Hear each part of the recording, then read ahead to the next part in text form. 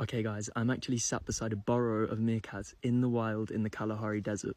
I'm working with a lady called Alma who basically rescues pet meerkats, introduces them into mobs and releases them. And there are so many meerkats right here.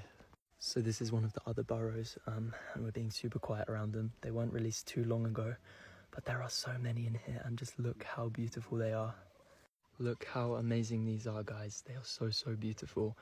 Um, and obviously we're being very quiet and not interfering with them, but they are just such incredible animals and they really, really remind me of Milo.